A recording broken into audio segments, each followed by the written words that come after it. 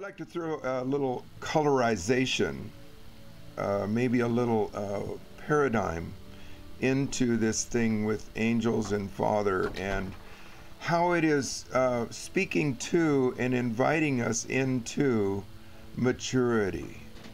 Maturity as sons, maturity as sons and daughters.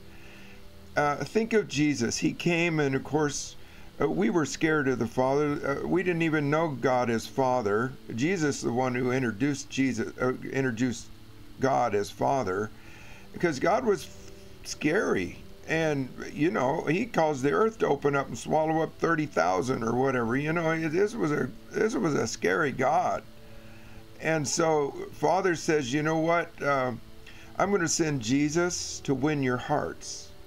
So Jesus was God with skin on. And it's the only way we could begin to have relationship with a God that seemed so scary. Now we have a God who's manifest in human form, and he does good things for us. He meets us at our felt need. As Emmy pointed out while ago, I'm thirsty. Wah, wah, wah, I want a drink. And Jesus came and met us at our drink need, our need for drink. He went to the cupboard, got the cup, went to the faucet, got the water, handed it to us, and helped us so we didn't dribble too much down our shirt. He was a good God. Jesus was super. He was the only way to the Father. We had to come through him to get there. Now, the crazy thing is, at the end of Jesus' ministry, he says, Now, I want to give you something better. It's better that I leave. I'm going to give you something better than me. Now that just that just does not sound right. Jesus, what are you talking about? You're the only way to the Father. You said everybody's got to come through you. And now you say that we can uh, have, there's a better way? Yep, it's called Holy Spirit. Now, what I'm wanting to do here is build a precedent. Build a precedent. The precedent is that, John, uh, that God does change. His character doesn't change, his nature doesn't change. He's the same yesterday, today, and forever in his character and nature, but his emphasis changes. His wholesale grace outpourings from heaven change over time. We know that. That's easy. Judaism was God's emphasis in the Old Testament. Actually, only during uh, a 2,000 year, um, uh, roughly a 2,000 year period. And then he changed completely to the new covenant. And Jesus now institutes, teaches on access to the Father through him. Then, only 33 years later, God changes everything again, says, I'm going to give you Holy Spirit. Oh my gosh, it took 2,000 years for the one emphasis. Now it takes 33 years for a new emphasis. My gosh, God. You know, but He's building something. He's constructing something in us, a belief system that we don't build on religion, we build on a vital, vibrant relationship with Father. And we go with Him through those time periods. Now, for roughly 2,000 years, we've been in a holding pattern, what most of us call the church age. And so we have tried to promulgate the teachings of the uh, church, uh, salvation, even baptism of the Holy Spirit. We lost it largely through the Dark Ages, but in the last 200 to 300 years, it's been gained back. We've gained back much of what we lost. And so now it's becoming very real to us again. I maintain that God is doing, and I think we all agree, I maintain that God is doing a very new emphasis, and He's doing what Jesus said in John 16, and uh, Owen referenced it a while ago, that we now, having learned the personality and the heart of Father, we're learning we can go directly to the Father, just like Jesus does. Will we love Jesus? We will always love Jesus. We if if there's sin, it always has to go through the cross. Never will that change, as far as I know. That will always be our entryway But I don't know that Jesus ever said that he was the end all. In fact, he said, I'm going to point you to the Father. And that in that day, you will go directly to the Father. You will not pray in my name. And if you do pray in my name, I'm not saying I will pray the Father for you. Wow, that's crazy. Now, let me tie in a couple more things. Some of us, many of us, know the name Ron Jones. Ron Jones, a friend of Dr. O, kind of one, his, one of his mentees. And uh, Ron Jones is a house of fire. He's a, a fire hose of revelation. And he, he maintains that when Jesus said, You shall do greater things than I, that one of those definitions or interpretations of greater things is that we will go straight to the Father. We will know what it is. Uh, let me back up.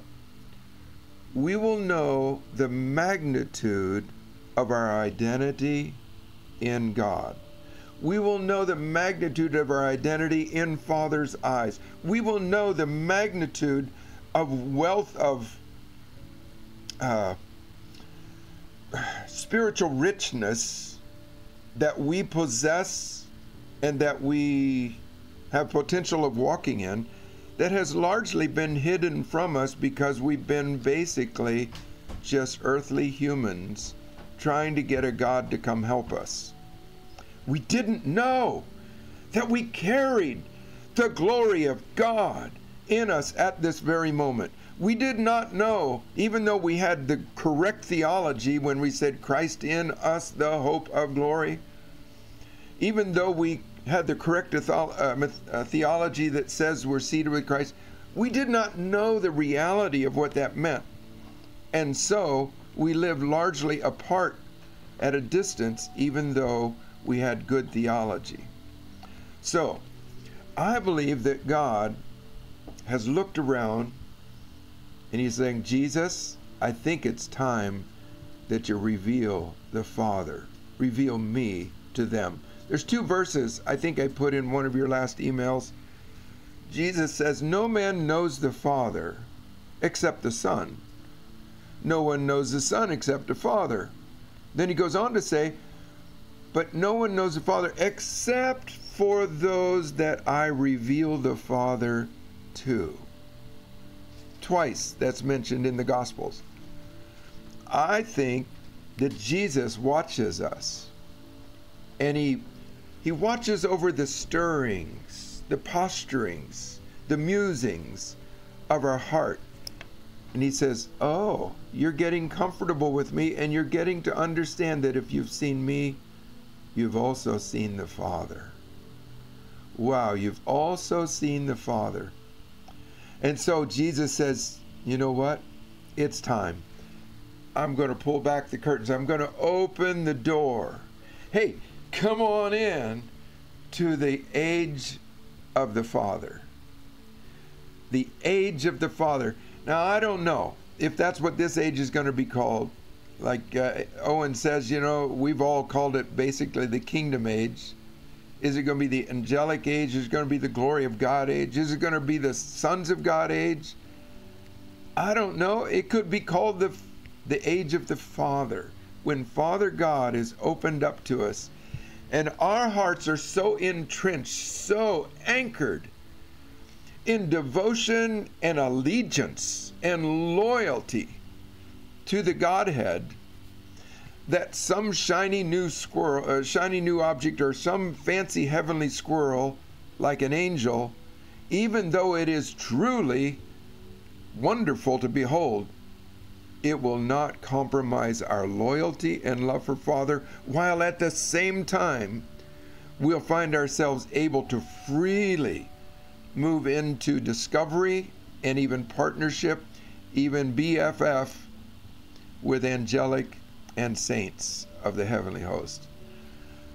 So there's my kind of my my big picture, at least as big as it gets at this point. Okay, since you said it, I have it pulled up here. I got to read. This is going to disturb you. well, not us, because we're the choir. But Joe, if you say this, you're going to be in trouble. You're going to be an iconoclast. this is Hebrews 6 1 through 3. Now look at this first phrase. Therefore, leaving the principles of the doctrine of Christ. Oh, oh, that is a troublemaker right there. Just unpack that. I mean, everything's been about Christ. And he says we want to leave the doctrines of Christ. Now, you know, uh, just uh, every, we're grown up here, so we're not, you know, creating some new doctrines, but that'll disturb you.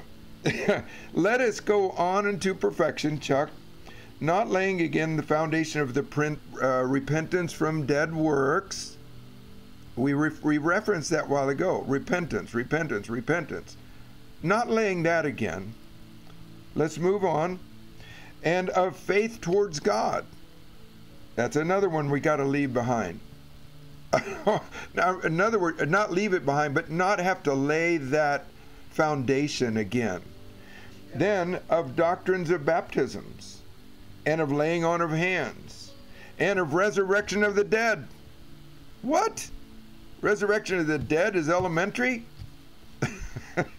but he says then, uh, oh, and of eternal judgment. Okay, end of sentence. Then here's the last one. He says, and this we will do if God permits. Oh, I don't know that Paul, he was on to something. He was on to something. He was he was like, my heart yearns. It yearns to get beyond the baby pablum, beyond the Gerber baby food. I want to move into the stuff that my mature heart now needs in order in order to nurture it. So I don't know if that grabs you like it grabs me, but that's my heart. You know, it's just, and I think that's all of our hearts. I know it is. We want to move on into the stuff that is more appropriately fitted for our maturity level at where we're at at this time. I feel like the Lord, this kind of recap, is uh, inviting us, entreating us into a union with Him that, uh, huh, and this is going to take a while, but it's uh, weaning from religion while at the same time loving every heart all along the journey from the pre Christians to the newbies to the seasoned. And so that's going to be a little bit of a challenge for us because, uh, you know, whatever we're into, that's kind of the hottest, latest, greatest, and the only thing we want to talk about. But uh, but Lord's going to help us. But I, I just do really believe that Father's saying, "I want you to come into union with me." It's time. I'm opening the door. Jesus is actually opening the door. I think Jesus is actually revealing the Father.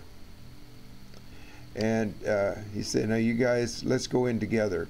Look at this. Jesus, arm in arm with us. Come on, let's go to the Father together and uh, that's a, fascinating and actually a very inspiring thought to me. A, a picture that I think needs more painting, needs more rhema by each of us.